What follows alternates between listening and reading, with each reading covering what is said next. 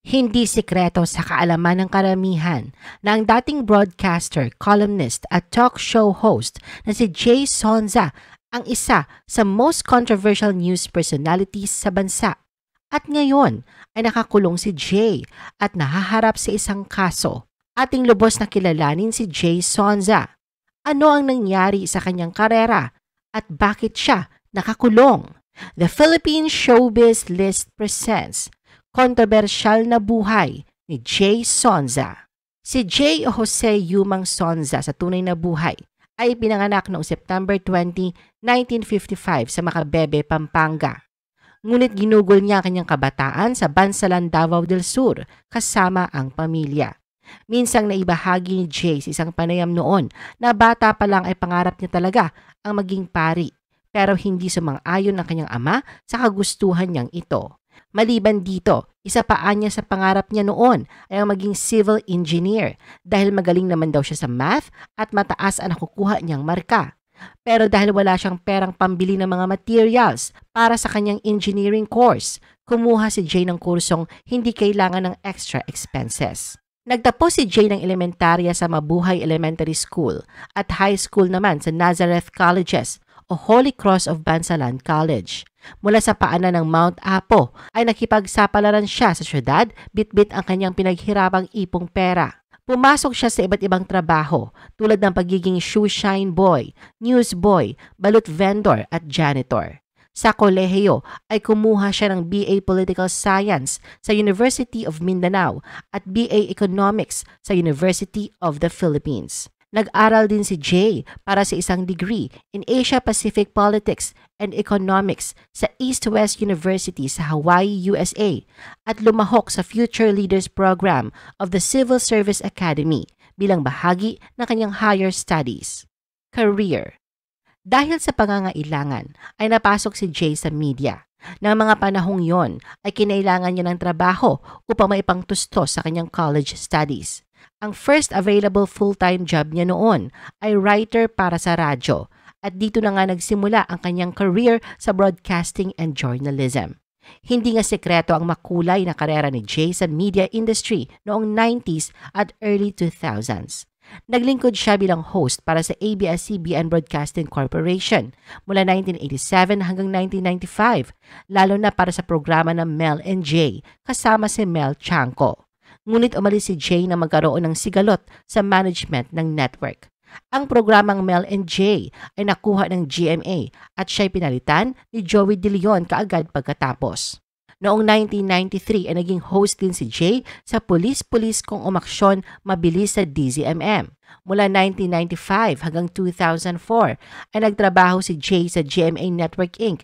bilang supervising producer at consultant bukod sa kanyang mga tungkulin bilang host. Nagkaroon din siya ng solong programa sa TV at radyo, ang evening show na Tapatan with Jay Sonza at ang evening news noon na Saksi. Nagtrabaho din si Jay bilang host para sa Associated Broadcasting Corporation na Balitang Balita. Siya ay naging station manager ng UNTV 37 pagkatapos at lumabas sa mga programa tulad ng Get It Straight, Ito ang Balita at Good Morning Kuya. Si Jay rin ang naging host ng Pilipinas, Gising Ka Na Ba? mula 2005 hanggang 2007. Naging editor din si Jay para sa People's Daily Forum at correspondent ng Philippine News Agency at Mindanao Daily Mirror, kasama ng iba pang mga titulo. Naging contributing editor at columnist rin siya para sa Manila Times, Hot News at Abante. Bukod dito, siya ay naging Pangulo at General Manager ng Smart Promotions Inc., Advertising Director ng Creative Techniques Inc., at Information Officer para sa Commission on Population of Region 11. Sa kanyang panahon ay hindi nga may pagkakaila ang magandang daloy ng karera ni Jay at patunay nga riyan ang ilang parangal na kanyang napagwagian. Kabilang na nga riyan ang PMPC Star Awards for Television, ang Outstanding Journalist Award mula sa Rotary Club of Manila at isang Catholic Mass Media Award para sa public service. Mula sa mundo ng pamamahayag ay sinubukan naman ni Jay ang kanyang kapalaran sa mundo ng politika Taong 2004 nang mag-file siya ng kandidatura para pagkasenador sa ilalim ng Aksyon Demokratiko, ngunit natalo siya. Siya ay ininumina rin bilang miyembro ng Batas Party List noong 2007. Tatlong taon matapos yon, muling sinubukan ni Jay ang kanyang swerte kung saan ay tumakbo siyang vice-presidente sa halalan noong 2010 sa ilalim ng kilusang bagong lipunan. Ngunit sadyang hindi para kay Jay ang larangang ito dahil sa ikalawang pagkakataon ay umuwi siyang talunan. Samantala sa usaping pamilya naman, bagat naroon ang pagiging pribado ni Jay, hindi kaila na siya ay isang ama sa limang anak at isa na ring lolo. Controversies kahit tapos na ang stint ni Jay sa larangan ng news and current affairs, ay nanatili naman ang kanyang presensya. Katunayan ay aktibo siya sa social media, partikular na ang programa niyang Jay on Board Tapatan sa YouTube. Magpahanggang ngayon ay patuloy pa ding pinag-uusapan ang kanyang pangalan dahil na rin sa kanyang mga controversial post patungkol sa politika, sa entertainment at maging sa mga kasamahan niya sa media industry. Family harassed after fake news by Jay. Matatandaan na noong December 21, 2018, si Jay ay nagpost sa kanyang Facebook page ng maling address ng estudyante ng Ateneo de Manila University na sangkot sa isang bullying video. Pero napag-alamang peke ang home address ng high school bully na kumalat sa social media. Dahil dito ay dumanas ang prank deliveries ang pamilya ng isang pastor na tunay na may-ari ng bahay. Isa sa mga residente ng home address ay umapila sa publiko hinggil sa hindi inaasahang harassment na nararanasan ng kanilang pamilya. Binura ni Jay ang maling address na inilagay niya sa kanyang Facebook page. Pero liban dito, wala siyang hininging paumanhin sa pamilya na naperwisyo niya ng husto dahil sa pagpapakalat ng maling impormasyon. Jay called Kim Chiu ambush isang malaking drawing. Noong March 2020, sa Facebook post ni Jay, tinawag niya ng isang malaking drawing ang ambush sa sasakyan ni Kim Chu sa Quezon City. Ibinahagi rin niya ang sariling teorya sa insidenteng kinasangkutan ni Kim. Base sa kanyang pahayag, ang pakiramdam nito ay gawa-gawa lang ang insidenteng kinasangkutan ni Kim.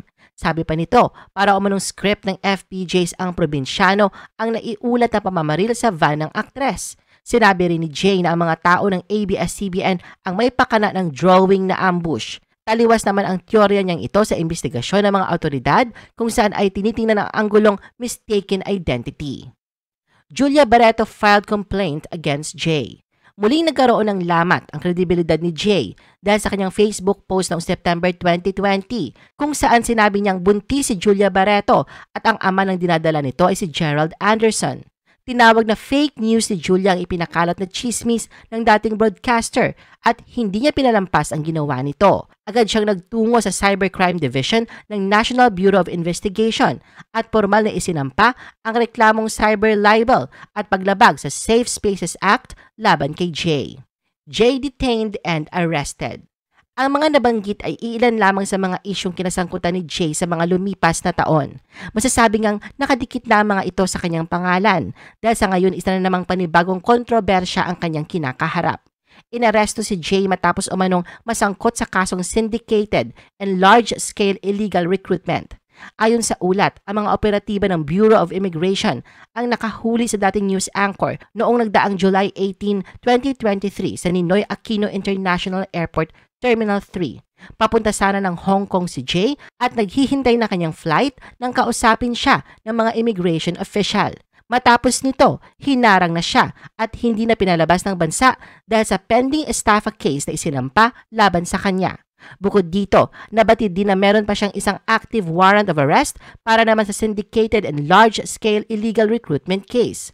Dalawang linggo na ang nakalilipas ng pansamantalang dinitain ng BI si Jay. Agad naman siyang tinurn over sa kustodiya ng National Bureau of Investigation at pagkatapos ay inilipat sa Bureau of Jail Management and Penology. Ayon sa panayam ng GMA News kay Jail Chief Inspector J-Rex Joseph Bustinera, ang spokesperson ng BJMP, dinala sa kanilang tanggapan si Jay noong August 3, 2023 sa pamamagitan ng isang commitment order mula sa Quezon City Regional Trial Court Branch 100. Nakausap na rin daw ni Jay ang kanyang abogado para sa mga legal options na maaari niyang gawin dahil wala ngang piyansa ang mga kasong syndicated o large-scale illegal recruitment. I-post ang inyong comments at reaction sa baba. At huwag kalimutan na i-like at i-share ang video na ito. Gusto mo pa ba ng ibang showbiz videos? Panoorin ang aming iba pang top viewed videos. Para sa aming mga YouTube viewers, pumunta lang sa description ng video na ito o i-click ang link sa itaas ng screen. Para naman sa mga Facebook viewers, ay maaari ninyong hanapin ang mga link sa comment section ng video. I-follow nyo din kami sa Facebook at mag-subscribe sa aming YouTube channel. Thanks for watching!